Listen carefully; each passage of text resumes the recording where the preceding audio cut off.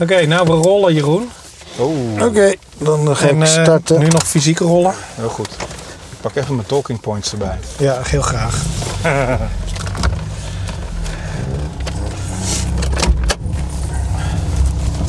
Wat ik me afvraag is, waarom doen jullie dit eigenlijk? We hebben een mening en die moet eruit. Is het zelfglorificatie? Is het een Ja, soort van masochisme eh, om te zorgen dat je tijd kunt vullen met vele uren video-editing? Ik heb, ik heb veel, te, veel tijd. of heb je En, ook eh, een, veel een boodschap, meningen. zeg maar, die eh, de wereld in moet? Ja, Het internet moet beter worden, Het internet moet beter worden. want het is ziek. En ik Ah. heb er aantekeningen voor. En die aantekeningen die je helpen ziet- om het Ja. beter te maken. wie is dat Wie is mannetje dit? achterin? Dan wordt het eten lullen. Oh, sorry, komt er eerst nog een omroep, Ja, nee, ja, kijk, want onze auto is namelijk vies. Ja. Dus we gaan naar de wasstraat. Ah ja, gezellig. En achterin zit een mannetje met ook een mening. Ja. Maar het is wel leuk, want die heeft misschien een wat afwijkende mening, want hij werkt in de, eh, Oh ja, even de hoofden gelijk even groot maken. reclamewereld. De reclamewereld nog wel. Toch? Ja, Nee man. Advertising. advertising. Dus dat is wat anders dan reclame. Ja, we gebruiken geen Nederlandse woorden meer in de advertising. Ah, oké. Ik sprak laatst een reclameman op een eh, feestje, kinderfeestje van mijn dochter. En de vader des huizes, die was... Ik vroeg hem wat hij maakte, want het leek alsof hij eh, regisseur was van documentaires. En toen zei hij, ja, nee, dat was voor een reclamespotje voor... Oh, je bent een reclameman. Ja, ja, totdat we een betere term daarvoor hebben, noemen we het maar zo. Toen dacht ik van, is dat zo erg dan? Ja, als, je, als je een beter internet wil, is reclame de snelste weg daar naartoe. Ja? Absoluut. Als het geld nodig heeft wel, ja. Dat hangt vanaf wat eh, een goed internet, de definitie van een goed internet is natuurlijk. Wat is de definitie van een goed internet dan? Is dat een internet waar heel veel geld mee wordt verdiend of waar hele goede content op staat? Of waar mensen gelukkig van worden. Of waar die het leven beter maakt misschien? Weet je, je hebt altijd een bepaalde basisinvestering die je moet doen om te zorgen dat je wat je ook wilt uiteindelijk kunt realiseren op het internet. Ja, je moet moet er er... iemand geld aan verdienen. Ja, Om te zorgen dat het allemaal in de lucht blijft. ja, dat klopt Ja. inderdaad. Zei de Evil reclame meneer. Nee, maar goed, dat is Nou. natuurlijk zo. Overigens, misschien is het goed om je... Want je bent Jeroen. Ja. En, en heb je ook een achternaam? Misschien leuk voor ook Ik ben Jeroen Verkroost en ik ben ehm, eh, bij Microsoft verantwoordelijk voor alles wat met advertenties online te maken heeft. eh, en online producten zoals eh, nou, klassieke dingen, Hotmail, Messenger, eh, MSN.nl, maar ook hippe dingen.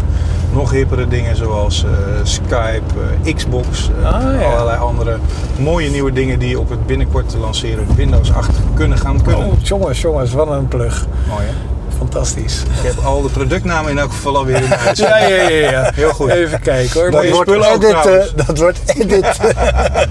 moet je niet ook Windows 8 RT en Windows eh, 8 en... Win- Nou, het is toch allemaal hetzelfde. Dat is ook eigenlijk wel het mooie. Ik had er laatst nog, eh, gisteren nog een gesprek over met iemand.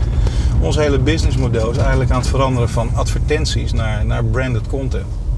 Dat is, eh, Ja. Het leuke daarvan is dat dat eigenlijk ook een, eh, een businessmodel is wat veel leuker is voor, voor mensen die gebruik maken van je diensten. Want vaak, niet altijd, maar vaak zijn reclames ja, niet relevant en, en, en, en storend als je het dan hebt over rechthoekjes en vierkantjes op het internet. Absoluut. Ehm, ze zijn niet zo vaak heel erg relevant. Ik heb wel eens een En moment van, eh, van extreme relevantie beleefd. En toen heb ik onmiddellijk geklikt en twee dingen besteld. Waar ik er maar één nodig had. Gewoon om te belonen dat ik relevant bereikt was. Ja. Maar die momenten, nou, Maar was dat niet toeval? Ja, dat weet je niet. Dat kan. Is, is, dat, is, dat, is, dat is wel heel erg cynisch, toch? Eh, dat dat een emotioneel moment voor je was.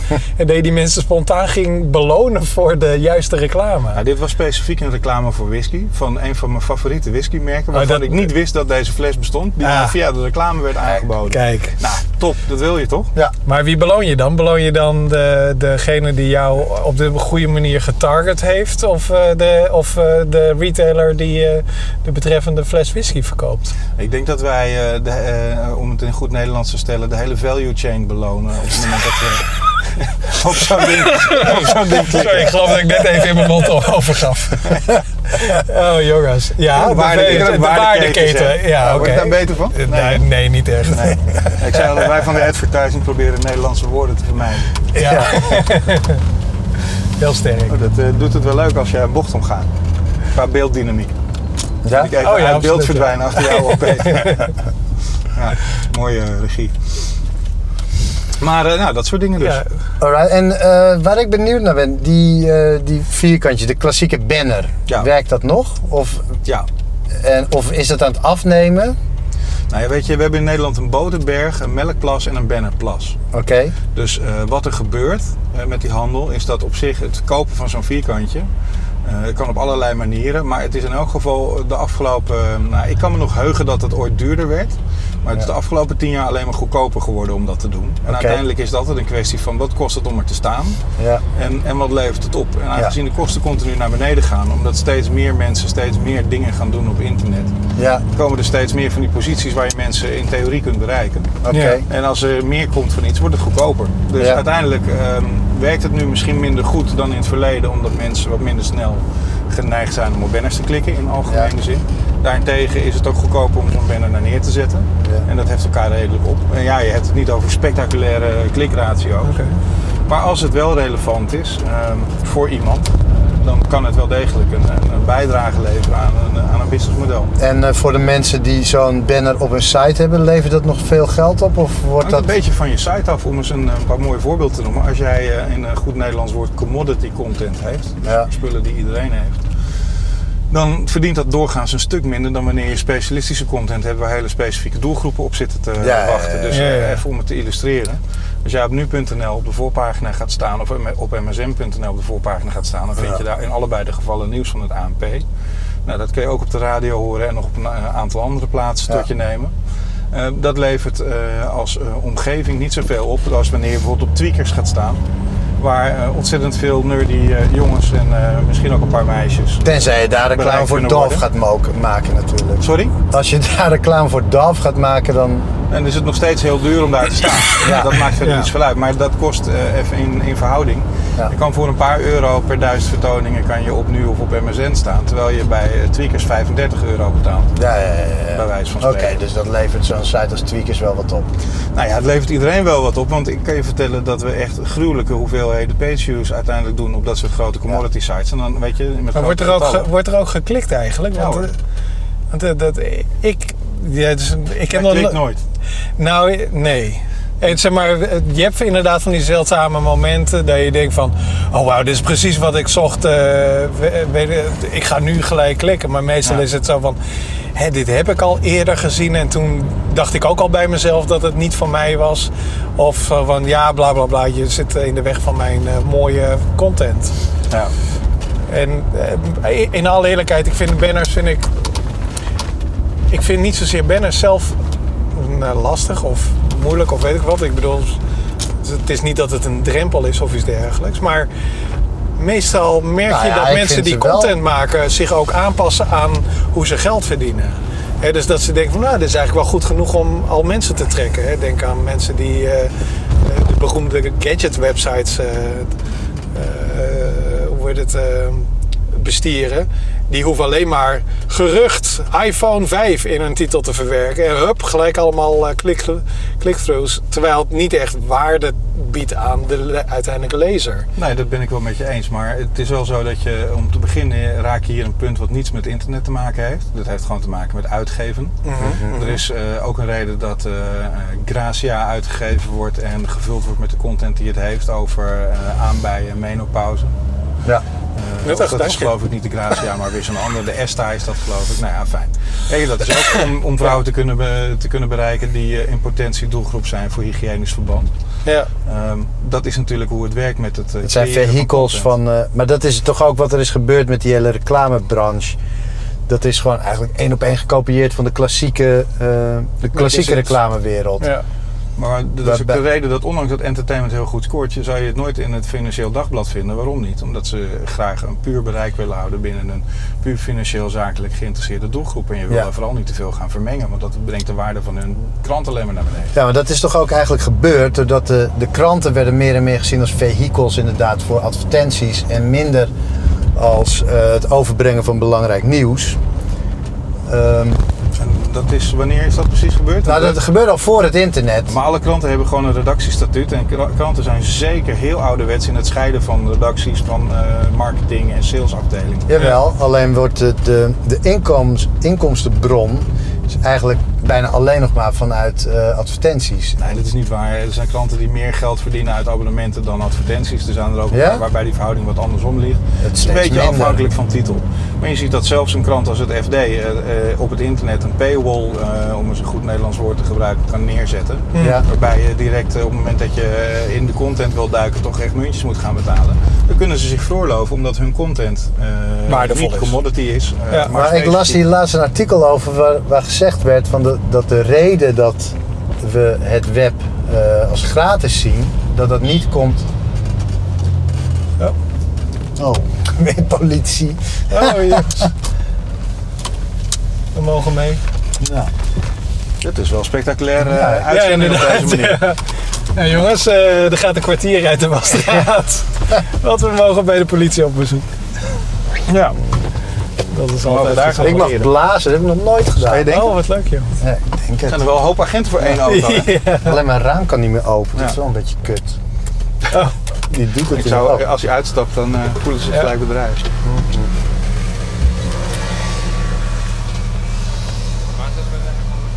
Hallo. Hallo. Goedendag. We Hallo. zijn bezig met een actie preventief fouilleren. Dat houdt in dat we u beiden gaan fouilleren. Oh. Meerdere personen, zie ik. Ja. Ja. Dat gaan we één voor één doen. Dan gaan we de auto ook nog even nakijken op de aanwezigheid van wapens. We zijn een opname aan het maken, dus we laten de camera laten we draaien. Ik vind hem helemaal mooi, Mooi. Als we voor mij Oké. de motor zou uit willen zetten. Doe ik. Scheelt ook benzine. Eh we geluid koppelen we even los. Ja. Uw- Wilt u ons allemaal uitstappen? Nog een, eh, een handig moment. Echt heel ja. Kun jij je kabeltje even losmaken? Oh, dat is een heel goede voor jou, zeg. Jezus. Ja, voordat je- man. Ja, voordat je- dingen kapot is. Ja, precies ja. Even kijken. Ik denk dat zij jou gaat vieren, dus dat zit goed. Zo, dan ga ik er ook uit. Oh. Even alles losmaken. Goeiedag. Als je nog helpen zou willen blijven zitten. Oh, ja, dat is goed. Ja, ik ben heel vervelend. Heeft u scherpe voorwerpen bij? Eh, ja, ik heb een zakmes en wat eh, hier. En eh, voor de rest eh, wat sleutels. Het zakmes, dat zit waar? Dat is eh, dit zakmes. En voor de rest ja, sleutels. Je, Voor de rest geen... eh, Je zit hier in een veiligheidsrisicogebied. Dat is een bepaald gebied in Amsterdam-Oost. ja, Daar mogen dus helemaal geen messen komen. Mijn collega loopt heel even naar eh, ons opperhoofd toe. En eh die Oké. gaat beslissen wat ermee gaat gebeuren. oké. Ja? Als je daar nog mensen willen spreiden? Eh, wat? Daar maar gewoon, daar Oh, eh, zo. Ja, Ja. dankjewel. Wat voor opnames zijn we doen? Eh, wij doen eh, zeg maar in de auto een opname over eh, content. Dus over ons vakgebied. Ah, oké. Pak je nog een stukje politiewerk na? Ja. Ja, nou hartstikke tof. Ja, ik vind hem helemaal mooi, Oké, super, dankjewel. Je nog heel wel, uit de auto zou willen blijven, Oh ja, we willen natuurlijk. de auto ook nog heel even nalopen. Oh, dat is goed. Even eh, voor de auto gaan willen staan alsjeblieft. Ja hoor. Ja, u mag.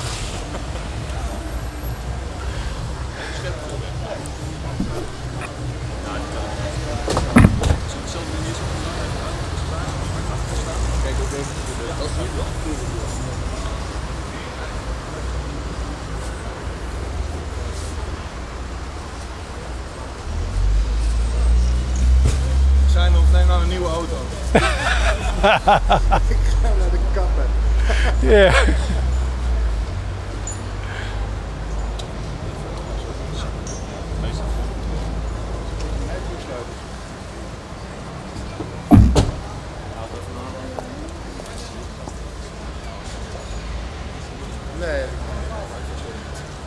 Mag die weer mee? Nee, Niet? nee. Oh, dat is wel heel erg naar. eh. Ja, u krijgt er een eh proces verbaal voor. Omdat het een messenverbod is. Oké. Dat is apart. Ja, en Is dat ergens, eh, kan ik dat ergens nakijken dat hier een... een eh, noodverordening heeft dat meestal afgegeven. maar is dat ergens op borden te zien, zodat we kunnen zien dat we hier niet met messen erin kunnen?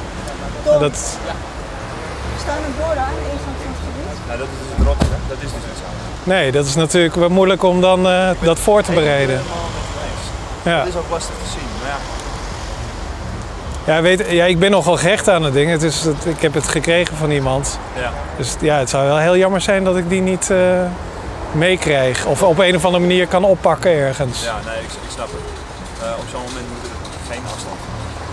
En dan eh, kunt u in bezwaar gaan.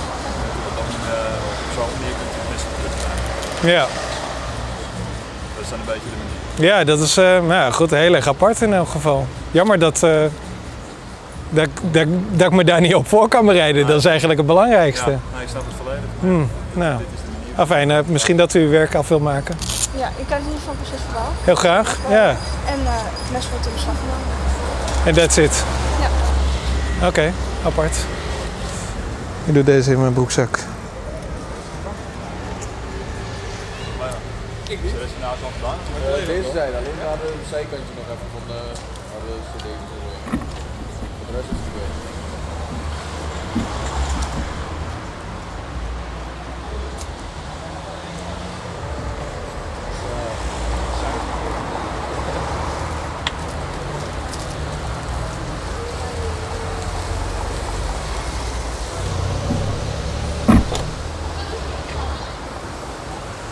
Wat betreft de auto is het klaar.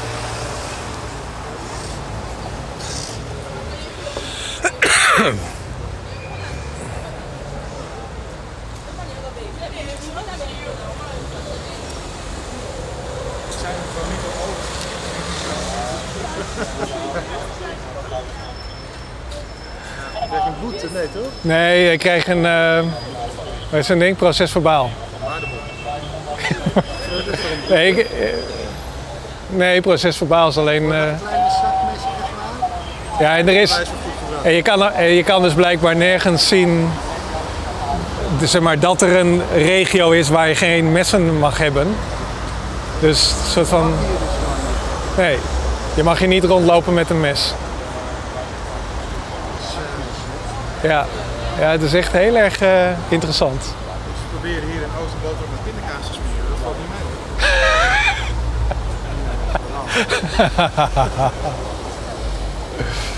Het legitimatiebewijs bij. Ja, natuurlijk. Ehm, u krijgt een bewijs van ontvangst dat we het mes in beslag genomen hebben. Mhm. Dat krijgt u eh, op uw huisadres opgestuurd. Prima.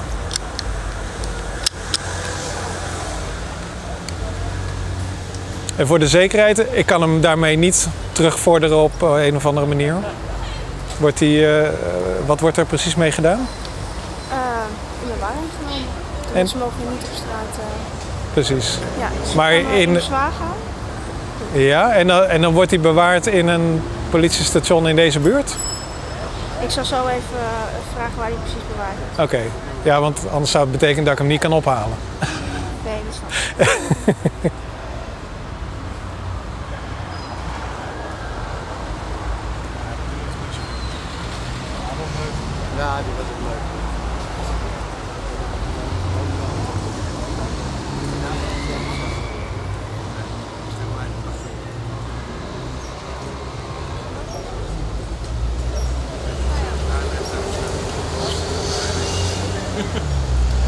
Silas, het zijn Mercedes, hè? Mercedes en golfjes worden aangehaald. Oké, oké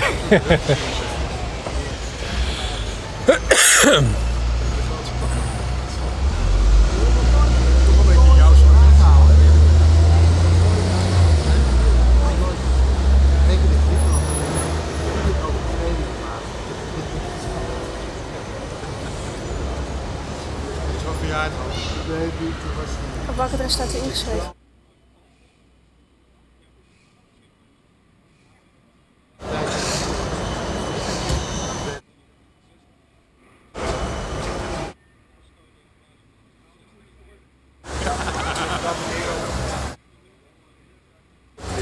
In Amsterdam.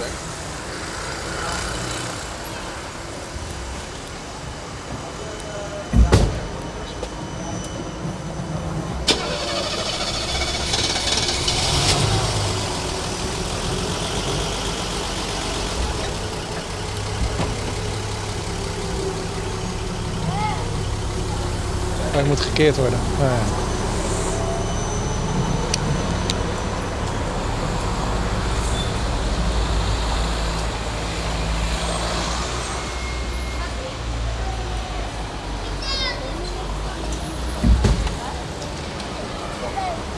Dus. Ik tegen mij zeggen dat je gewoon gewapend wordt. Ja, ik ben, eh, ik ben gewoon blij dat ik mijn glok thuis heb gelaten. Trouwe ga ik met jou in een auto zitten. Blijf gewoon met je wapens bij je. Ja, ja. Gevaarlijke steekwapens. Steekwapens, ja. no less. Ja, ik denk dat ik er nog geen eekhoorn mee kwaad kan doen. Nee, ik zijn hartstikke snel, dus dat wordt inderdaad tricky. de.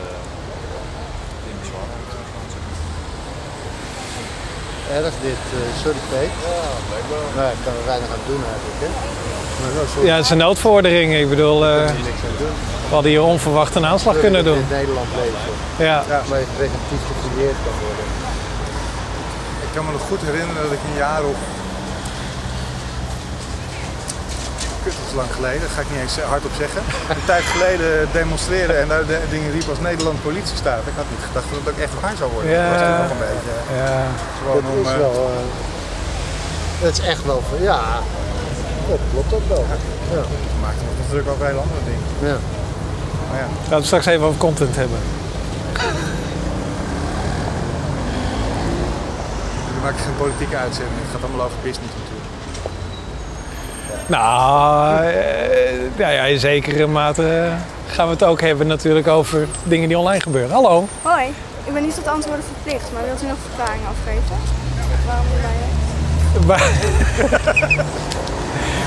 het Eh, Ja, wat, wat kan ik zeggen? Nee, ja. Nee zeggen. Nee.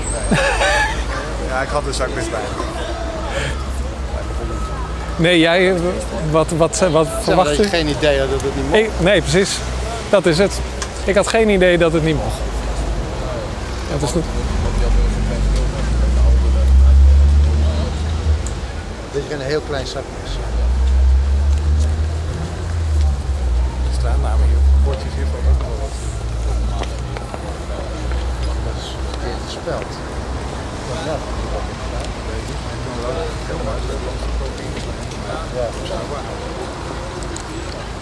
Dankjewel. Wat met u mes gaat gebeuren, hij gaat eerst bij ons naar het bureau. Ja. En dan gaat hij naar het regionaal eh, beslaghuis. En daar blijft hij eh, liggen tot de, tot de officiële eh, beslissing heeft genomen. Kijk, en daar ontvang ik bericht over. Eh, als u bezwaar gaat wel. Pas als ik bezwaar teken. Krijgt hij eh, alleen bericht als u bezwaar tekent? Als u... Krijgt thuis krijgt hij in ieder geval nog een eh, bewijs van een uh, ontvangst dat het mes in beslag is genomen. Ja. Dat mes dat blijft bij ons gewoon bewaard.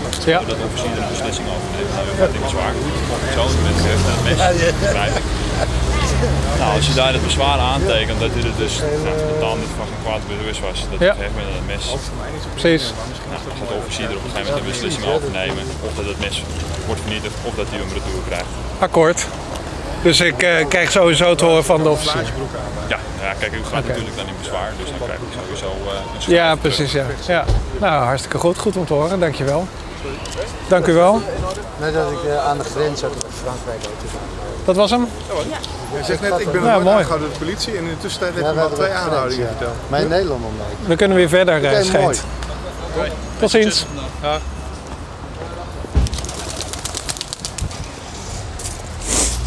Hey, die buitencamera, dat is deze keer wel extra, moeite, extra de moeite waard. Ja, inderdaad. Ja. Inderdaad. Volgens mij staat daarop hoe het gefouilleerd wordt inderdaad. Geweldig. Oh, Jongens, eh, even aansluiten. En Faas die heeft eh, nog heerlijk eh, gefilmd met, de, met de iPhone. Zet jij hem... even kijken welke is van jou? Die? Jij hebt die van jou nog? Ik heb het. Ik heb nog een stukje gefilmd inderdaad met de iPhone. Ah ja.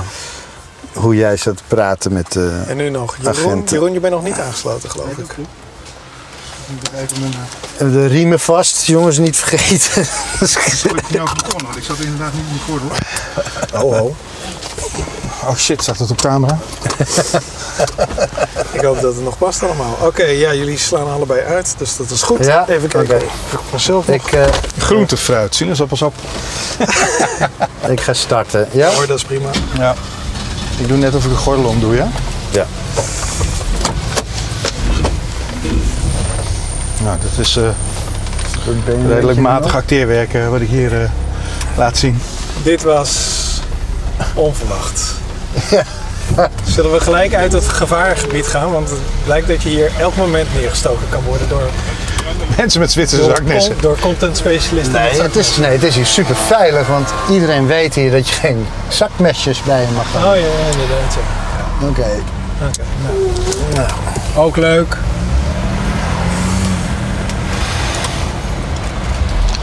Maar wat vind je als content specialist dan van die vermenging van commercie en content? Is dat dan een probleem? Of is Nee, dat een helemaal kans? niet. Nee, nee, nee.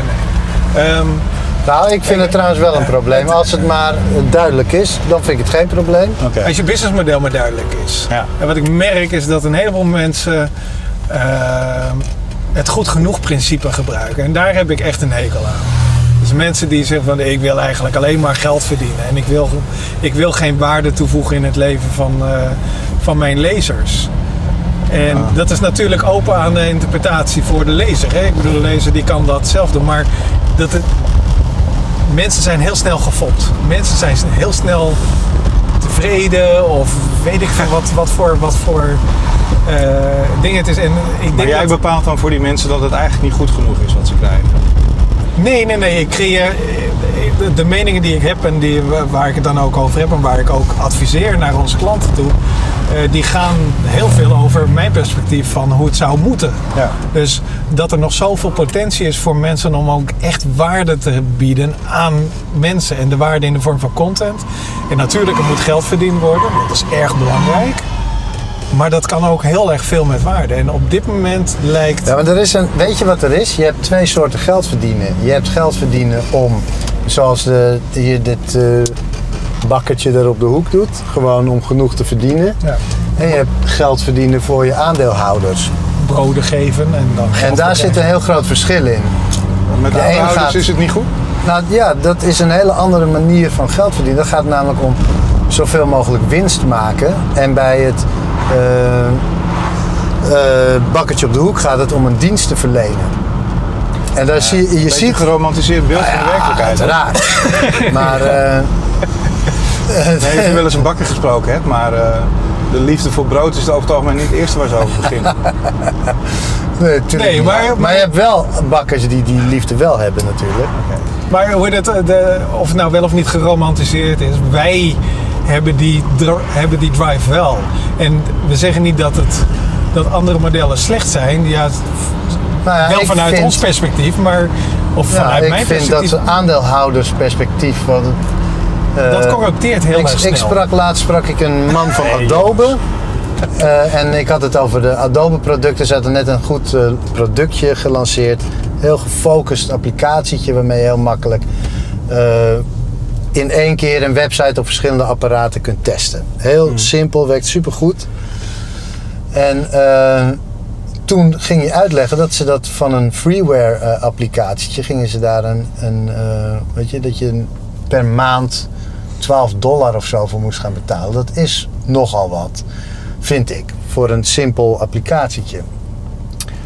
Ehm, en toen zei ik van, ja, waarom doe je dat nou weer? Van, waarom hou je dat ding gewoon gratis? Zoveel levert jullie nou ook weer niet op. Ja, maar we moeten onze shareholders tevreden houden. Ja, dat vind ik een hele slechte argumentatie. En dat vind ik het, dat, de, hè, dat je zegt van de, voor wie maak je zo'n applicatie? Dat maak je voor de developers of voor je shareholders. Voor wie doe je dat dan? Ja, maar weet je, dit wordt, als we de discussie gaan hebben over of het eh, goed is om aandeelhouders te hebben of of dat corrumpeert, denk dat we redelijk ver van de inhoud afraken. tuurlijk. Eh, en hebben van shareholders is een onderdeel van een, van een businessmodel wat je kunt toepassen als je geld nodig hebt om echt grote investeringen te doen. Eh, en dat kan eh, slecht gedaan worden en goed gedaan worden. Ja. Eh, maar dat is niet per definitie zo dat als je aandeelhouders hebt dat je dan niet oké bent. Nee. Wat ik, het- wat ik uit eh, jullie verhaal haal, is dat jullie eigenlijk specialisten zijn en dat jullie graag kwaliteit willen leveren. Ja. En je het gevoel hebt dat jullie ehm, de kans om kwaliteit te leveren soms negatief beïnvloed wordt uit puur winstbejag. Ja. Nou, dat geldt ook voor elke industrie. Eh, Het maakt niet uit of je dan kijkt naar fietsen die je op eBay kan kopen voor 75 euro. Of dat je kijkt naar branded content of, of, of dat soort dingen. Dat is overal op een gegeven moment een afweging. En het is mijn stellige overtuiging dat als je kwaliteit levert, dat je uiteindelijk op de lange termijn meer business hebt dan wanneer je dat niet doet. Ja. Dus die knakker van Adobe had een dom lulverhaal. Ehm, Ja. Maar als die 144 dollar die hij dan per, per jaar ontvangt, daadwerkelijk ook voor een eh, aanzienlijk deel geïnvesteerd wordt in de doorontwikkeling van dat productje, dan is, Ja. het, een, dan is het te- terecht dat er geld voor gevraagd Nou ja, wordt. maar de, de- ik vroeg dus, wat ga je ermee doen? En toen gingen ze er een heel andere applicatie van maken. Met helemaal dingen eromheen verzinnen. Die, je, het was een super gefocust applicatietje. En nu, omdat ze het kunnen uitbouwen, gaan ze er allemaal dingen omheen. Ik zat, wat ben je mee bezig, Adobe? Ja, maar ja, dat is natuurlijk ook een beetje hoe het werkt. Ik bedoel, met de, de, eh, de, iPhone 3 is niet zoveel mis. Eh, toch moest er een 4 komen en een 5 komen. En uiteindelijk, weet je, al die Nou ja. bedrijven die willen door en, en meer en beter. Eh, voor een gedeelte om. Kijk, sommige dingen moet je inderdaad natuurlijk verbeteren. Als je weet van een iPhone kan sneller en een computer kan sneller, is dat een goede reden om dat te doen. Inmiddels niet meer. Bij computers gaat het niet meer zo één op één op. Nee. Eh, dan gaat het om andere dingen, zoals batterijduur beginnen belangrijker te worden, omdat Ja. het mobiel is. In plaats van snelheid. Draagbaarheid. Maar daar zijn dingen, hè, daar kan je zeggen, daar is echt nog wel het een en ander te verbeteren. Maar bij dit applicatietje, die was eigenlijk goed. Die was af. Maar daar wordt nu een hele Soms moeten mensen ook ergens met hun poten vanaf blijven. Ja, ja. bedoel, ja, weet je, de, Ja. de Mini, en dan bedoel ik die uit eh, 1960, die rijdt ook nog steeds rond, omdat sommige mensen dat Ja. nog steeds prima Oh, vinden. dat is ook iets wat ik niet snap. Waarom, eh, waarom maken ze die, wat is het, die hybride auto's is super lelijk. Waarom zetten ze dan niet gewoon zo'n oud, oud ding omheen? Dat vinden mensen te gek. Dat het er mooi uitziet. Ja. Ja, nou ja, goed. Weet je, dat wordt ook, ook wel weer beter allemaal. Maar ik, ik herken het dilemma wel. En ehm, ik, ik was bezig eh, vandaag om een eh, column te schrijven over dingen die op Facebook gebeuren. Hij is nog niet helemaal af. Maar ik wilde eigenlijk van leer trekken tegen ontzettend stompzinnige Facebook-interacties die je soms ziet vanuit merken. Weet je, dat gaat dan echt op het niveau van... ehm, eh, jongens, het is weer maandag. Hebben jullie zin om te werken? Vraagteken. En dat is dan een merk. Vraagt jou dat dan? Ik, ja, weet je, ik word daar heel droevig van. En net toen ik daar lullig over wilde doen, keek ik naar die, eh, die vraag. En zag ik dat dat bewuste merk ehm, kennelijk genoeg mensen bereikt eh, met deze tekst. Eh, die dat toch leuk vinden, want er waren 924 mensen die geklikt hadden op vind ik leuk. En er zat een discussie onder van, van 34 berichten. Dat vind ik leuk. Ja, maar even, even teruggekomen op Peter's opmerking van daarnet. Mensen eh, zitten soms met een eh, good enough eh, mentaliteit Ja. eh, of net genoeg mentaliteit erin. Ja. De vraag is, ben jij de cultuurfascist die het niet goed genoeg vindt? En weet je wel, wie is de maat der dingen in dit hele verhaal? Ja. Wanneer is het goed genoeg? Als 934 mensen het leuk vinden en weet je, er gaan ook nog een hele berg mensen op reageren om te vertellen wat ze van de maandag vinden. Nou, dan heeft het dus misschien toch wel waarde voor een bepaalde doelgroep. Alleen hoor jij er misschien niet bij. Ja, nou ja, ik, ik- het, kan, het, het- ja, het kan zeker. Ik zie mezelf zeker als een soort, als een, eh, op, op, op het gebied van content ook echt als een elite. En ik vind dat, maar kijk, en wat je, wat je dan zegt eh, met die vraag. Eh, die vraag is even, even goed elitair. En natuurlijk, het slaat niet op mij, want ik reageerde ook gelijk. Oh jezus joh. En dan merk zich daarmee bezig durft te houden. Ja. Maar voor hetzelfde goed, eh, er is dus ook een elite, een, eh, een groep mensen die relatief klein is, die dat prachtig vindt. Dus, maar wat ik vooral heel erg, wat ik leuk vind, is dat mensen dan ook de moeite nemen om een hele specifieke groep ook verder durven te bedienen met mooiere, fijnere content. En of dat nou video is, maar het kan net zo goed advertising zijn als dat gewoon heel erg vermakend is. Ja. Eh, vermakelijk, sorry. Eh, Ja, dat kan ook. Maar ja, het, het, de goed genoeg mentaliteit, ik, ik sta er echt achter. het, zeg maar, dat, dat mensen gewoon simpelweg denken van... Ja, weet je, we halen hier eh, 4.500 mensen naar binnen. Eh, dat is prima. Dat was onze target. Klaar. Armpjes over elkaar, pen op tafel. Ja, dat vind ik gewoon niet prettig. Dat is, dat is gewoon kortzichtig denken. Precies wat jij ook zegt. Maar weet je, aan Je de er andere niet- kant is het ook niet, je kan niet verwachten dat het beter is, want de meeste mensen zijn middelmatig. Dat is nu eenmaal zo. Daar heb je het mee te doen.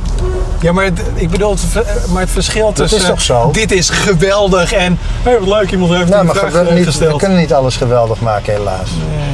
Ja, het kan wel. Maar weet je, dat, dat verhaal Ja? van... Dat, ja, het kan wel. Maar de vraag is of het de moeite waard is. En dat Maar is dat uiteindelijk een afweging. Sorry jongens. Maar, eh, op zich is denk ik ehm, de uitdaging van het vakmanschap eh, juist groter met commerciële dingen. Oh, dan moet een camera van het raam Ja. af, dames en heren. Anders dan, eh, blijft hij zo meteen achter in de wastra.at. Dus ehm, juist als je commercieel iets moet maken, is de uitdaging des te groter om dat kwalitatief goed te doen dan wanneer je gewoon leuk eh, en zonder enig voorbehoud maar gewoon mag doen wat je, wat je zelf interessant lijkt voor jouw doelgroep. En Ja. De uitdaging om iets te maken wat aan de ene kant inhoud heeft en kwaliteit biedt. En aan de andere kant ook nog een commercieel doel dient. En Ja. die is alleen maar groter. En daarom is het voor een content specialist volgens mij alleen maar leuker om dat soort dingen te maken en dat soort concepten te bedenken.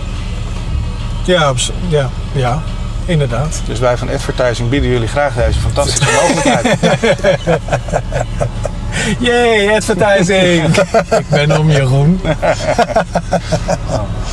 Hallo, Ga toch niet filmen, hè? wat zeg je? Je gaat mij toch niet filmen? Ja, hangt vanaf waar je gaat staan. Ja, als je niet naar binnen springt, Daar staat, goed. dan kom je op de film. Ja. Mag ik je de basis was, alsjeblieft? Ik heb net de buitenkant van deze auto gezien. Binnen. Ja, binnen. Oh, dit is geweldig. Ze hebben ook Titan Polish. Ja, Kunnen ze reuze, Ik- ik vind- Oh, reuzenpolen. Die heette, die heette Vip Wash, heette die, maar nu is het Titan. Oh, wat goed zeg. Ja. ik dacht dat Titan een merk condooms was. Misschien kijk ik te veel internet. Wat was dat nou ook alweer? Dat waren, Trojans. Oh ja, dat waren inderdaad. Android devices. Die hebben allemaal de naam van condooms. Alsjeblieft, je bonnetje. Jo, dankjewel. Oké, Nou, van zou condoom. wel je raam dicht. Zoiets was het. Zo mijn tip. Oh, hij gaat niet meer dicht. Oh jee. Ja. Heb ik veel. Ja. Maar goed, we zijn eruit. Het businessmodel van eh, het internet is toch wel vaak eh, advertising. De mensen willen nergens voor betalen. ja. En content eh, ehm, maken wordt leuker en spannender als je meer uitdagingen krijgt. En een boodschap van adverteren erin verwerken is zo'n uitdaging. True, ja, absoluut, ja. Ja, Ik had wel wat kritischere vragen verwacht eigenlijk. ja nee, maar het, eh, dit is ook niet echt eh, het eh, Jeroen-vraaguurtje. het is misschien nog niet opgevallen. De politie die heeft er ook een mening over. Ja.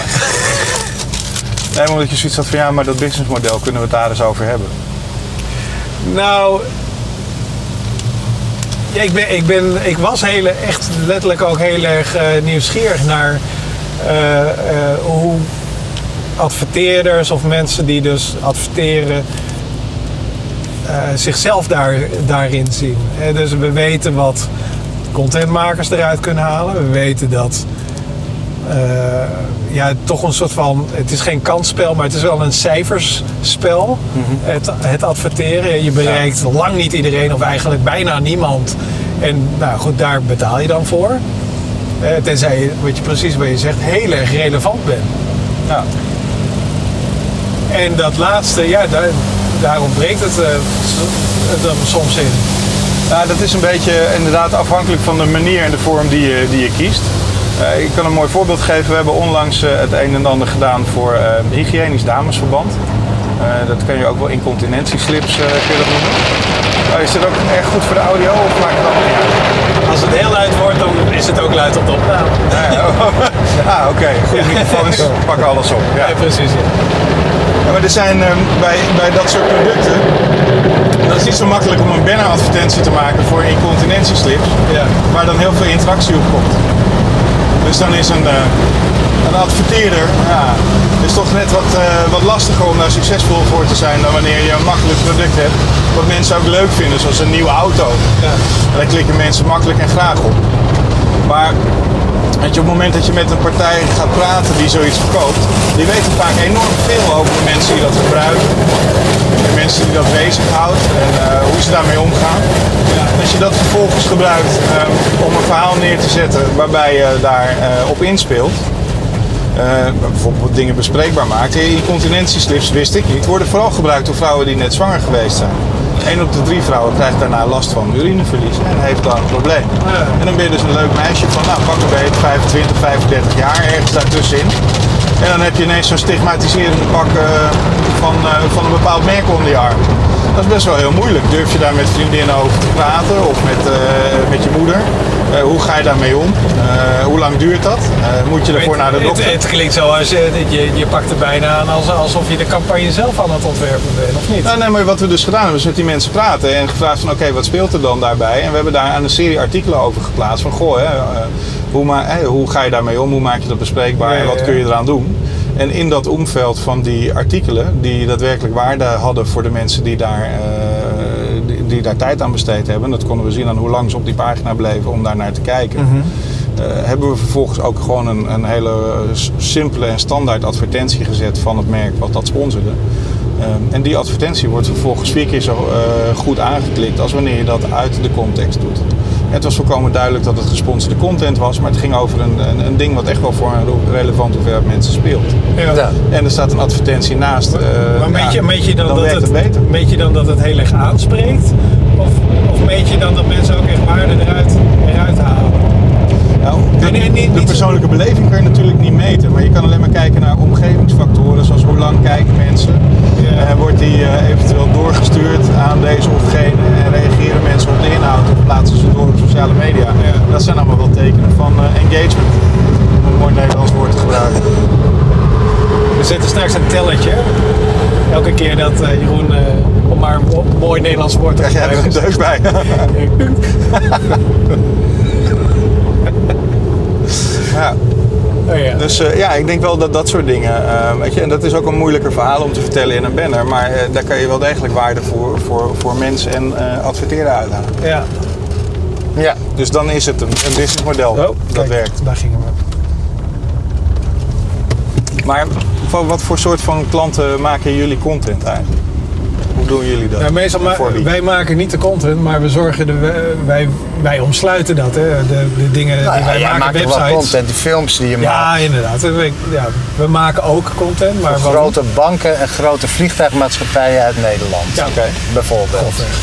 Dat lijkt me best moeilijk. Zo'n vliegtuigmaatschappij dat heeft nog wel iets glamorous, maar een bank, de producten daarvan, die spreken doorgaans niet enorm aan. Zo glamorous is vliegen toch niet meer? Nou ja, weet je, god, een, een beeld van een mooi vliegtuig wat omhoog gaat, dan hebben mensen iets van, oh, vakantie en wegdromen en zo. Dat eh, Ja. zie ik bij de gemiddelde polis nog niet gebeuren. Nee. Nee, Nee, nee, nee, banken hebben ja, ook een maar de- heel slecht imago. Ja. Ja, dat schijnt ook dat ze de laatste tijd niet eh, Nee, Zet jij hem nog even neer? punten Ja. gescoord hebben. nee. Die hebben zich meer met de aandeelhouder dan met de service bezig gehouden. En, eh, ja, mooi teruggepakt op het eh, op subtiel geïn- geïntroduceerde thema aandeelhouders. Ja, precies. Ja. Ja, die aandeelhouder is de Nederlandse staat, hè, vaak. Ja, Ja, dat is ook wel interessant. ja. Maakt het nog iets uit dan? Nee, tuurlijk niet. Nou ja, ik weet niet. Ik weet niet of de Nederlandse staat heel veel druk op winst zet. Dat gebeurt natuurlijk vaak bij bedrijven wel. Ik heb wel eens een bankier horen vertellen dat hij, nou het was elk geval zijn stellige mening, dat die banken die van de staat waren, heel hard hun best deden om zo weinig mogelijk winst te maken in deze fase en zoveel mogelijk nieuwe klanten aan zich te binden. Maakt niet uit wat dat kost, onder het motto, eh, we zijn op dit moment toch state-owned. En tegen de tijd dat ze het dan zat zijn eh, in Den Haag om te betalen voor eh, die klanten, ja, dan wordt het wel weer een keer geprivatiseerd. En dan heb je mooi concurrentievoordeel gehad ten opzichte van de, de andere banken die het wel gewoon zelf moesten betalen. Oké. Ja. Dat is ook een, eh, een theorie. Dus in feite zijn wij nu met z'n allen volgens die theorie aan het betalen voor het, eh, het succes van die banken voor later. Ja. Klinkt... eh, Maar dat zijn geen verhalen die je doorgaans echt makkelijk verwerkt in, eh, in websites en interactieve omgevingen, denk ik. Eh, nee, nee, ja, z- zeg maar... eh, Dit zijn niet de verhalen waar onze klanten om vragen. Nee, inderdaad, ja. Goh, ja, we willen ons businessmodel wat meer eh, naar buiten toe. Realistisch. We Ja, realistisch. Inderdaad, ja. Wij vragen klanten wel om. oprechte, Ja. oprechte marketing. Wat is de meest gehoorde vraag van, van, van zo'n soort instelling? Kunnen jullie ons helpen met? Of wij willen X bereiken? Ehm, ja, ze willen gewoon dat hun klanten goed bediend worden. Hè? Dus wij zitten heel vaak in het, precies in het dienstverlenende eh, online stuk van, eh, van onze klanten. Dus als je kijkt Ja. naar als de, eh, de, vlucht, eh, de, de, de vliegtuigmaatschappijen, ja, die willen dus zo snel mogelijk dat mensen zo gemakkelijk mogelijk een vlucht kunnen boeken. Nou, maar dat is een En geïnspireerd van, raken. Van usability en design, maar niet, Ja. zo, niet zozeer van content. Nee. Ja, ja, ook wel hoor. Want content kan eh, prima zijn dat eh, allerlei verhalen, filmpjes of weet ik veel wat, die helpen jou om een goed besluit te maken. Bijvoorbeeld inspirerende films over bestemmingen of wat ook. Kunnen jou prima inspireren van, oh, weet je, Canarische eilanden, daar was ik pas geleden nog geweest. Dat is inderdaad hartstikke leuk. Weet je wat mij nou ontzettende kans lijkt voor dat soort websites? En denk vooral weer aan die financiële instellingen. Eh, Ik heb een Rabobank hypotheek. Coming out hier, uit de kast. Gefeliciteerd, ja. Uit de kast. En die, eh, als ik naar de site van de Rabobank ga, dan krijg ik regelmatig eh, informatie eh, in, in, in hoekjes van die site. Over hoe leuk het zou zijn om een hypotheek van de Rabobank te nemen. Dan denk ik, ik ben hier eh, Ja. bij mijn eigen bank. Ja. En ik heb dat al. Waarom doen jullie niet fatsoenlijk aan CRM en bied je me niet iets aan? Je kan ook zien wat voor hypotheek ik heb. Je weet ook ongeveer hoeveel, hoeveel euro mijn huis waard is. Dus bied mij dan iets aan voor mensen die in mijn, eh, in mijn doelgroep zitten met eh, mogelijke eh, oplossingen die jullie Ja. kunnen bieden. Ik, ik denk wat, wat een heleboel van onze klanten ook zeggen is zo van, ja, wij zijn eigenlijk een beetje bang om mensen te confronteren met hun eigen gegevens. Ja, maar ik log in bij een bank. Nee, ja, nee maar Dat, vind ik het daarna niet gek meer dat ze me kennen. Ja, nee, maar blijkbaar is, dat, is de consensus in elk geval bij, de, bij dat soort bedrijven is anders. Ja? Is juist heel erg zo van, oh jullie kijken naar me of jullie weten alles wat ik wil. Ik, zeg maar, hoe veilig is dat bijvoorbeeld? Hè? Ja, ja. Dat is dezelfde website die mij mijn saldo laat zien. Ja. Ja. Maar security is wel natuurlijk voor banken is dat echt nummer één. Dat is design issue nummer één. Ja, dat snap ik. Vind ik En ook goed. eh dan is natuurlijk het bannering, of je dan de inderdaad inloggegevens zomaar aan alle marketeers eh, daaraan wil koppelen. Ik kan me voorstellen dat een hoop mensen daar in plaats van dat ze zich geholpen voelen, dat ze zich eh, Bekeken voelen. ja, dat dat als een bedreiging gezien wordt.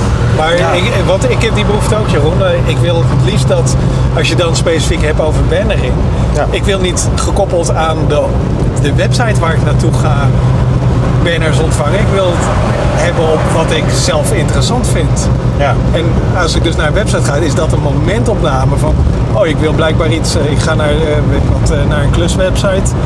Dus ik krijg allemaal hamers naar me toe geworpen. Misschien is dat helemaal niet relevant. Misschien wil ik een, een zwembad in elkaar zetten en wil ik eigenlijk meer weten over wel, wel over. Epoxyhars. Ja, precies. Ja, Welke Ja. planten je daarin kan laten groeien. ja inderdaad. Ja, hè. Zo echt een project of zo. Of misschien, ja, dat Maar het punt is natuurlijk dat we dan jou eh, zouden moeten gaan volgen over verschillende websites. Ja, absoluut. Of, of En, eh, vragen. ja, dat, dat vind- niet dat, kunnen? dat vindt de Maar- Nederlandse politiek heel eng. Ja, nee, maar Vasilis heeft daar een goed punt. Het is mijn keuze als consument om aan te geven van... ik wil graag dat dit gedrag getrackt wordt op een of andere manier. Of Ja. ik wil mijn persoonlijke voorkeuren wil ik exposen aan bijvoorbeeld een dubbelklik of aan een... Een merk dat je vertrouwt of, Of, ja, precies. zoals de ja. Rabobank, omdat je daar toch al bankiert. Exact. Ja, dus dat soort dingen. Dus Ja. je zou het aan moeten kunnen zetten en je zou het mensen kunnen aanbieden. En, en niet zozeer om de ergernis eh, van eh, bijvoorbeeld eh bannering, om dat te voorkomen. Want laten we eerlijk zijn, dat is, dat is misschien, het is, ten eerste het is makkelijk tegen te gaan. Je kan gewoon hoe heet het, een eh, bannerblocker geen- installeren als je slim bent. Altijd, ja. Voor de meeste mensen Maar is dat best de meesten ingewikkeld. zullen dat niet doen, maar dan nog. Maar het is gewoon veel fijner ook waarschijnlijk voor adverteerders om relevant te zijn. Om Ja, er zit geen meer- adverteerder te wachten op eh, het, het, het jou bereiken hè, met een verhaal over incontinentiestudies. De kans dat nee. dat het tot verkoop leidt is nul. Ja, en dat is, dat is eigenlijk ook de hele reden waarom ik geen televisie meer kijk. Ik krijg op televisie krijg ik blokken tussen de programma's. Hè. De Wereld Draait Door. Nou, de Wereld Draait Door heeft een hele brede doelgroep. En misschien is dat niet, past dat helemaal niet op mij, of misschien een klein beetje op mij. Maar al die reclames die eromheen zitten, die interesseren me over het algemeen helemaal niet. Nee. Waarom is dat? En waarom heeft Nou, omdat je zo ver van het gemiddelde af zit dat ze voor jou niet relevant zijn. Denk ik. Ze zijn gericht Ja, op gemiddelde Nederlander, want veel, veel fijnmazen Maar kan je niet bestaat maken. die- Maar is dat eigenlijk wel te meten, tv-reclame? Dat is, toch, is dat Nou ja, maar succesvol? dus, dus er zijn attributiemodellen voor, zoals dat zo mooi heet. Ja. Eh, Waarbij ze gaan proberen te volgen wat er gebeurt eh, eh, Oh ja, op televisie en wat er dan uiteindelijk in je, in je, in je warehouse gebeurt. Ja. Eh, of je dan ook daadwerkelijk meer blikjes KitKat eh, ziet verdwijnen naar de retail twee weken later, omdat ze eh, sneller door hun voorraad heen zijn. Dat is de allerbeste manier om het te meten. Maar het punt is, dat lukt alleen als je echt een grote fast mover bent, zoals P&G of Nestlé of Ja, Unilever. precies. Want dan heb je de volumes en de impact om dat ook snel te zien. Ja. Ehm, daarnaast doen ze natuurlijk allerlei onderzoek. En wat dan vaak gedaan wordt door marketeers, voordat een campagne live gaat, doen ze een bepaalde test. En kijken ze wat is de geholpen en onge- ongeholpen bekendheid van dit product en van het merk. Ja. En wat zijn de imago's en associaties. En na de campagne doen ze dat nog een keer en kijken ze of het veranderd is. Nou, als je dan pech hebt, dan is in de tussentijd net je autofabriek in het nieuws geweest. En dan eh, zegt dat niet zoveel meer. Maar in de meeste gevallen geeft het wel een beeld. En vooral als je het Ja, of wordt er een campagne gedaan in de supermarkt die je niet eh, op je radar hebt staan? Ja, dat is het moeilijke met retail. Weet je, het weer heeft impact. Of, Ja, Nederland, of het ja. Nederlands elftal de volgende ronde haalt van het EK heeft impact. En zo nog een miljoen andere factoren. Dus het is geen absolute wetenschap, maar het brengt je wel een stapje dichter bij de waarheid. Ja. Hey, eh, wordt het iets anders, hè? want ik wil toch nog even doorlopen over die privacy en of mensen wel of niet gevolgd willen worden en hun voorkeuren willen eh, geven. Ja. Want eh, pas geleden heeft eh, Microsoft die heeft de Do Not Track feature in Internet Explorer 10. Als ze die eventjes, of permanent is dat nu nog steeds? Maar standaard aangezet. Standaard aangezet. Ja. Do Not Track betekent een signaal aan websites om cookies en het tracken van mensen eh, gewoon niet te doen. Ja, het is een soort- vriendelijk verzoek van de een browser website. inderdaad. Ja. Nou, nee, wat het is, het is gedefinieerd als en er werd vanuit privacy oogpunt werd er gezegd, nou, mensen, een hoop mensen willen niet getrackt worden. Het zou mooi zijn als je dat centraal in de browser kunt aanzetten. Daar is een header voor gemaakt. hè, Dat, een header is een klein dingetje, dat wordt naar de server gestuurd waarin een aantal gegevens staan. Ja. En zo kon, kan je dus eh, de Do Not Track header aanzetten. Maar wat er, de, die header is zo gedefinieerd dat die, hij moet de intentie van de gebruiker weergeven. Hij moet dus, de gebruiker moet expliciet gezegd hebben ik wil eh, niet getrackt worden. En dat moet omdat anders de eh, advertentiemakers, de bennenboeren, niet mee zouden gaan. Hè, die zouden zoiets hebben van ja, weet je, als dat standaard aanstaat, dan, dan gaan we daar niet in mee. Dan gaan we die header niet accepteren. Nee. Dus wat nu eh, eh, Microsoft heeft gezegd met IE10, als je het mensen vraagt, dan willen ze niet getrackt worden. Bijna iedereen, als je ze vraagt, als je uitlegt wat trekken betekent, en als je daarna vraagt, wil je dat wel of wil je dat niet, dan zal bijna iedereen nee zeggen. In algemene zin zeggen mensen dan nee. Ja, Maar wat mensen ook wel teruggeven is dat van ja, als ik weet wie het is, ja. dan Ja. vind ik het in voorkomende gevallen geen probleem. Ja, Ja, ik of wat bankier staat bij de tegen- Rabobank, hè, om dat voorbeeld te gebruiken. Ja. En als het dan de Rabobank is en ik weet dat het niet een van de Russische boef is, Ja. ja. dan vind ik het prima. Maar dan wil ik het wel graag zelf kunnen kiezen. En dat is wat Maar- mensen dan vaak zeggen als je ze die vragen stelt. Maar is het, niet zo, maar is het niet zo dat gewoon. mensen gewoon willen weten? Want eh, en de, dat, dat, dat vond ik, ik- pas geleden. We hadden, we hadden het over de, over de cookies. En eh, eh, hoe heet het? eh, nu heeft zo'n beetje elke website eh, van, van Nederland. Die heeft zo'n waarschuwing. Oh jee, er komen cookies aan. pas op, hou je vast. maar cookie dit was heel erg makkelijk. Te, ik bedacht even, wat, dit is eigenlijk absurd. Dit is, we gaan nu met terugwerkende kracht via, gaan we via eh, rechtswegen gaan we dit verplichten, terwijl het gewoon eigenlijk educatie is. Ja. Het, het- zeg maar, je moet, je Ja. weet toch dat je dit gereedschap gebruikt en moeten we daar niet eigenlijk meer aan doen? Moeten we niet gewoon zeggen van, hé, hey, dit gebruiken we om jou van deze dienstverlening of deze een soort waarde van te rijbewijs moet hebben voor het internet. Nou, er zijn Ja, het probleem niet. is, je krijgt het niet uitgelegd. En de meeste mensen die denken eh, op het moment dat je hierover begint te praten, op een gegeven moment dat ze doorhebben. Dan hebben ze zoiets van, oké, dus als dat do not track aanstaat, dan zie ik geen advertenties meer. Nee, dat is niet zo. Nee, dan worden steeds advertenties slechter. Alleen, ja, weet je, de, de kans dat ze voor jou relevant zijn, wordt kleiner. Je ziet nog steeds advertenties. Ja. En je gaat weer terug naar het internet van tien jaar geleden. Ooit was ik eh, webdesigner. Mhm. En toen mocht ik ook banners maken. En een van de beste manieren om te zorgen dat mensen op een banner klikken... is een diapositief te laten knipperen met een interval van 0,2 milliseconden. Dat is een soort van stroboscoop-effect in Ja. een banner. En mensen Ja. hebben ontzettend de neiging om er dan op te klikken om er vanaf te komen. Nou, ik heb pers- persoonlijk toe bijgedragen dat eh, eh, deze techniek eh, nu opgenomen is in de voorwaarden van onder andere de Telegraaf als zijnde verboden Oh. in banner advertising. Zelfs bij de Telegraaf. Ja, dus dan kan je nagaan, dat was niet de meest stringente omgeving qua regels. Maar daar gaan we naartoe terug. Hè. Dingen die gewoon irritant zijn en die op die manier de aandacht trekken, die zijn eigenlijk verdwenen de afgelopen jaren. Omdat we dat soort ja, trucs niet meer nodig hebben. Ik vond het wel grappig, want ik zie. Eh, De, de tijd geleden, je hebt zo'n vereniging van advertentieboeren of zo wereldwijd. Ja. En die bepaalt de standaarden. De Dus- IAB eh, bedoel je, IAB, denk ik. ja. Ik denk dat zij, zij noemen zichzelf de Interactive Oh. Advertising Bureau. Oh, we gaan weer omrijden. Ja. En dit is ook weer dat risicogebied, of niet? Ja, oh ja, Nee, hier gaan we ook weer gefouilleerd worden. Oh, ja. Dan zijn we heel veel sneller weer binnen. ja, ja, dat- Ja, niet gevaarlijk meer. Hopen dat het bandje nog, eh, dat we genoeg bandjes Maar die hadden hebben. iets van, nou ja, in ieder geval, de- de bannenformaten die voldeden blijkbaar niet meer aan, eh, aan hun. ehm, dus die wilden nieuwe formaten erbij. Maar in plaats van te zoeken naar oplossingen voor het veranderende web qua... Voor, hè, de, weet je, Oh, het adaptive eh, design. adaptive design, dat de, hè, de, Ja. de beeldschermen worden niet groter, de beeldschermen worden diverser. Ja, Dus je wil niet grotere eh, eh, advertenties. advertenties, je wil Ja. flexibele advertenties. Je wilt daar iets mee doen. Ja.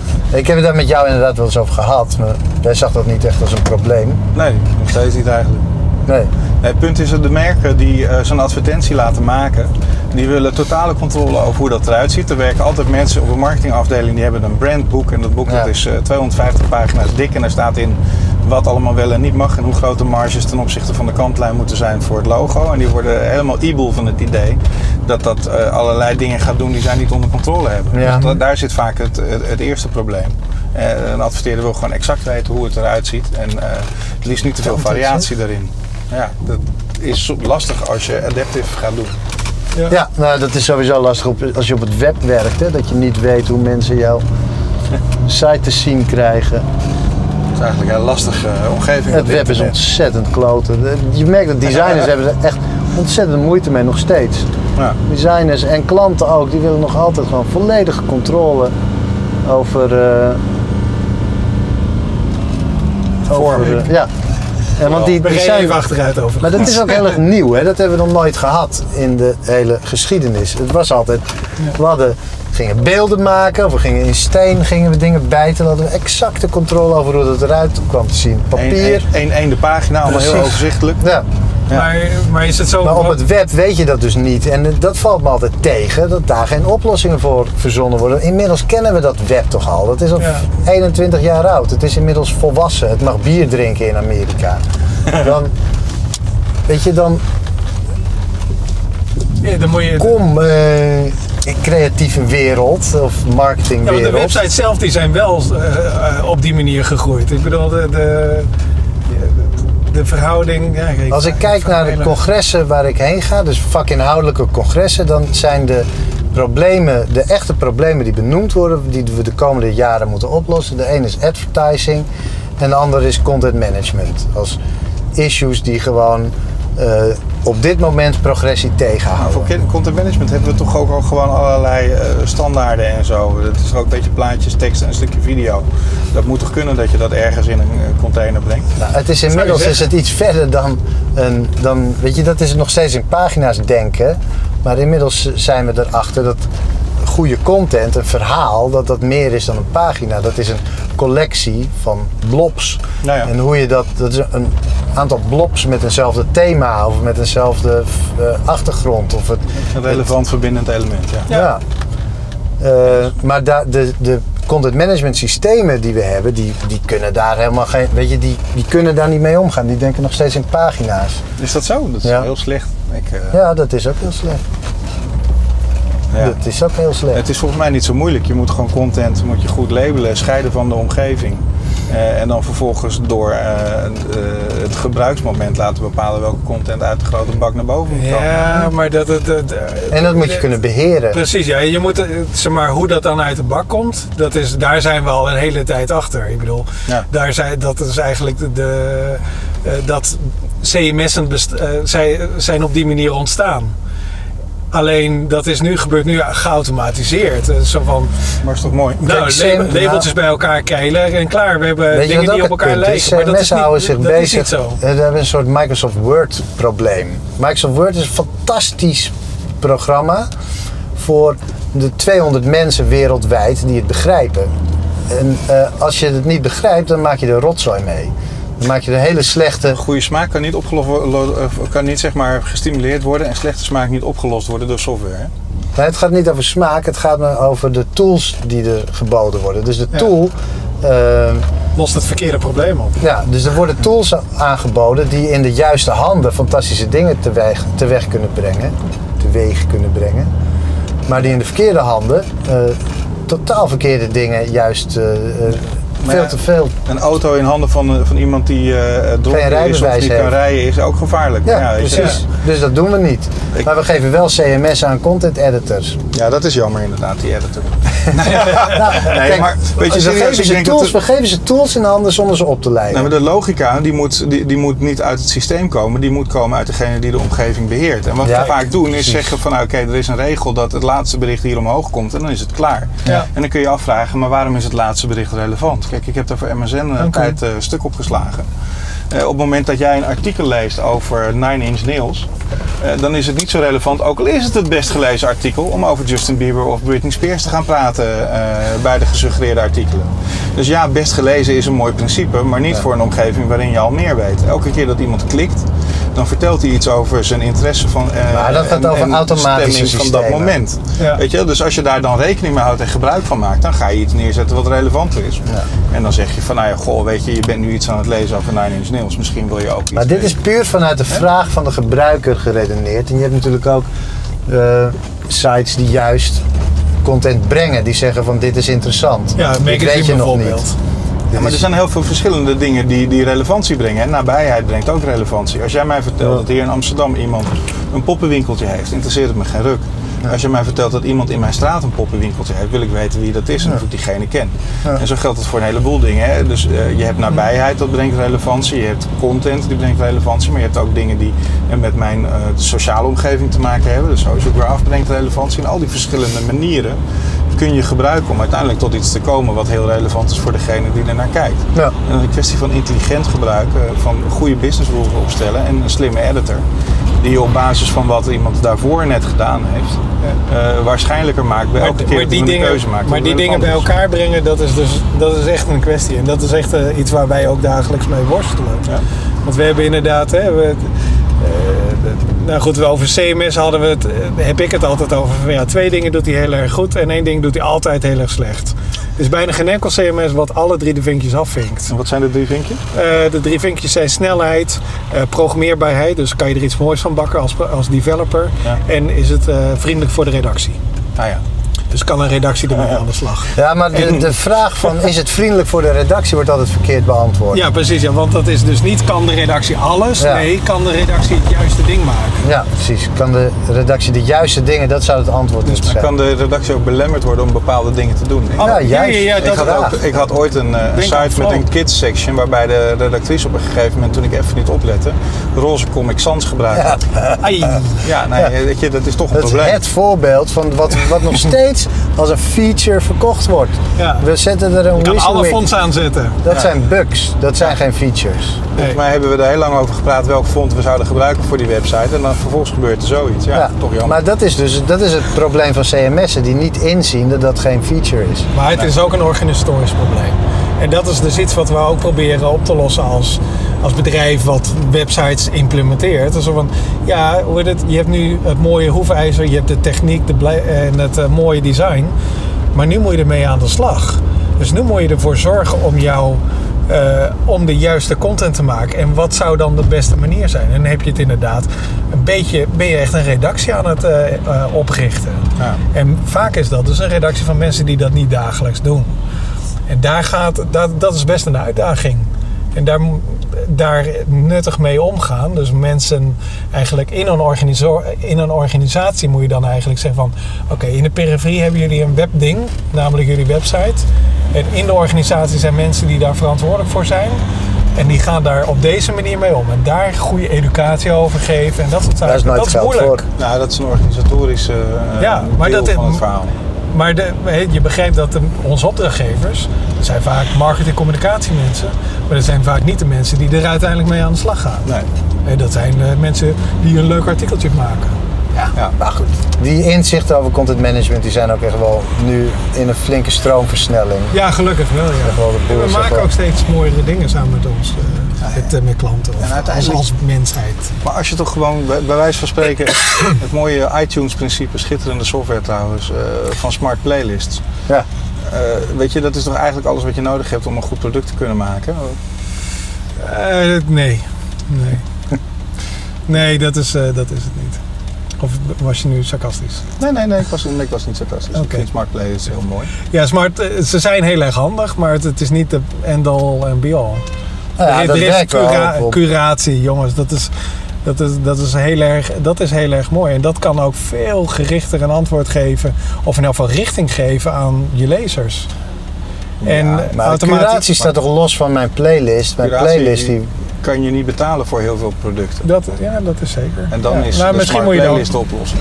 ja, Mits intelligent geprogrammeerd. ja. Nee, goed. En die, eh, dat is een hele goede... Ja, Oh ja. ja, absoluut.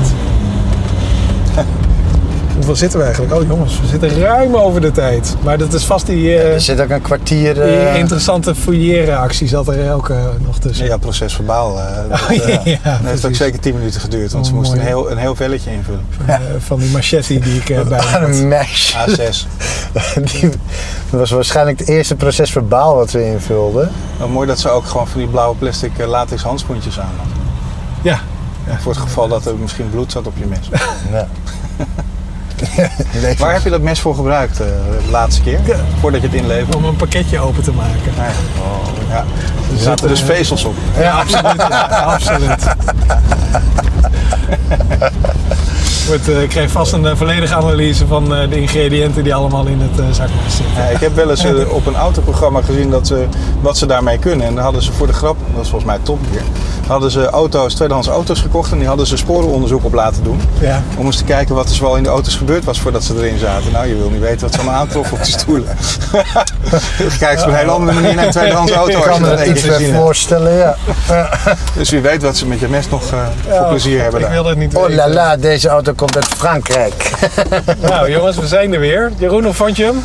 Ik, eh, vond het, nee, ik had niet zo heel veel verwachting, maar ik vond het een leuk gesprek. Oké, Ja, mooi. Enorm bedankt dat je er was. Ja, echt super. Tot de volgende keer jongens. Doei. Doei. Leuk. Maar ik was